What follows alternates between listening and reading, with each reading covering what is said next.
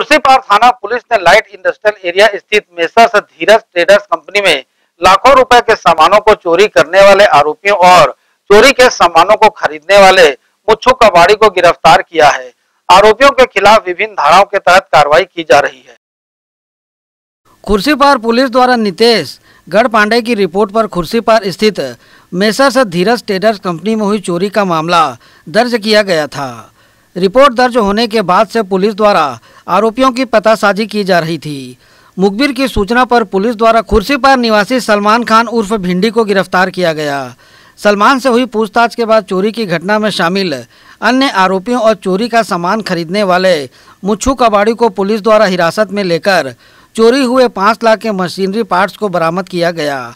आरोपियों के विरुद्ध पूर्व से ही खुर्सीपार थाने में चोरी के कई मामले दर्ज हैं। इस पूरी कार्रवाई में थाना प्रभारी दुर्गेश शर्मा के नेतृत्व में उप निरीक्षक सतीश साहू, आरक्षक राकेश चौधरी, डी प्रकाश सुभाष चंद्र की विशेष भूमिका रही। ग्रैंड एशियन न्यूज़ के लिए संजय दुबे।